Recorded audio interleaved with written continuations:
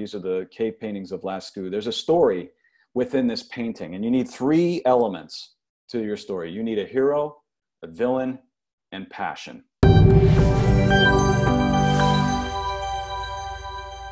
I want to get to really the heartbeat of what matters here, which is telling stories.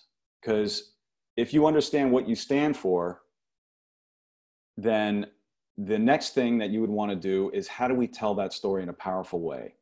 So there is a structure for storytelling that I'm going to give you guys, and I, I think it'd be helpful for you to think about this. Um, and this structure is something we've been using for you know since these cave paintings 17,000 years ago. These are the cave paintings of Lascaux. There's a story within this painting, and you need three elements to your story. You need a hero, a villain, and passion. You need those three elements. So, hero is pretty easy to understand. The villain is fairly easy to understand if you're thinking about like a Hollywood movie. Passion's a little harder because that's a that's what the hero wants more than anything else in order to take on the villain. You need that those three elements to tell a powerful story. I'm hoping what you're getting out of this is like I want you to tell more powerful stories about what you stand for. Okay? So I want to put this model to the test and see if you guys catch it, really kind of catch it here. So um, I may be dating myself, but I'm hoping that this reference still fits. If anybody's seen this movie, Rocky, all right? So the hero of this movie is Rocky. Who's the villain of this movie? Does anybody remember? Apollo is the villain of this movie. Yes.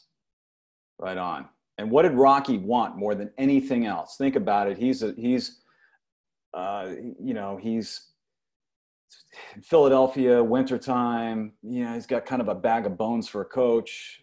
You know, um, what did he want more than anything else in order for him to muster up the courage to take on Apollo Creed? That's what really is is so great about this story. This guy was he was a never he wasn't even a has been. He's worse. He was a never was. So what's interesting about this is he wanted to provide a good life for Adrian. So that's great. So, so Don, that's great because Adrian was his, his, girlfriend here. And what goes deeper than that is the fact that, you know what, he just wanted a little respect. He just wanted to be somebody. So I'm gonna, I'm gonna skip us ahead to, um, to a, an actual, if you guys get this model, why don't we just try it out on a brand? Um, let's talk about, let's talk about this brand. Hopefully hopefully everybody knows this brand iconic. Where else can a 45 year old accountant strike fear in the hearts of his neighbors than firing up one of these?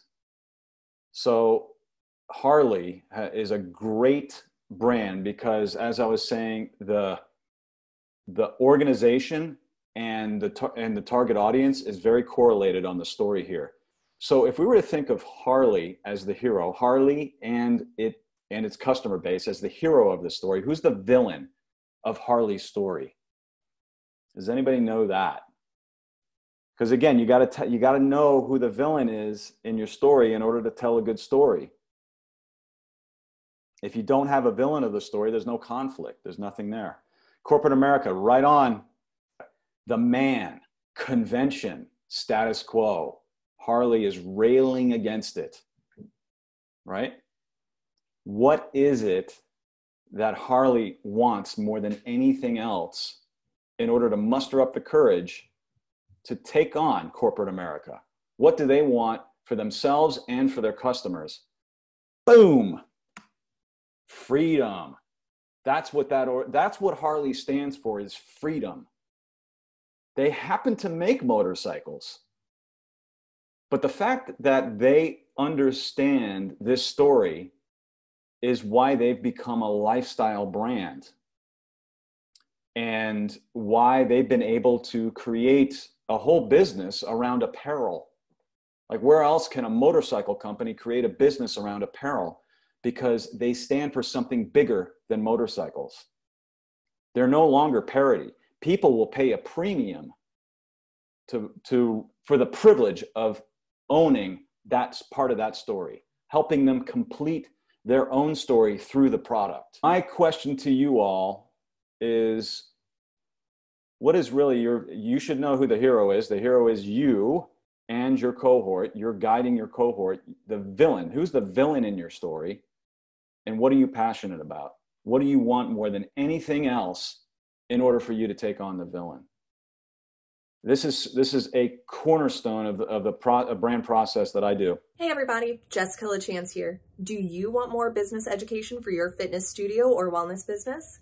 Subscribe to our YouTube channel or our email newsletters and we'll see you here soon.